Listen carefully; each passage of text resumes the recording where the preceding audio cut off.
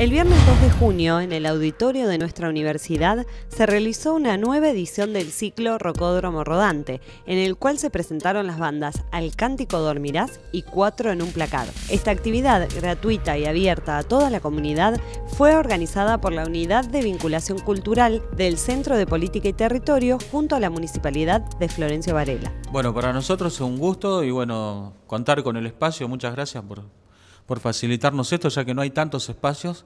Aparte es un hermoso lugar, un hermoso escenario, así que muy contentos de, estar acá. Hemos grabado un demo que lo pueden ver en, YouTube, eh, cuatro en un placar. La banda tiene aproximadamente un año y medio, o sea que bueno, eso es un demo y creo que más adelante nos pondremos a grabar. Así que a través de este tiempo han ido surgiendo nuevos temas, nuevas propuestas, nuevos ritmos y bueno, así que siempre se va modificando y vamos tratando de hacer una relectura de los temas que ya teníamos y bueno, ese es el proceso de la banda.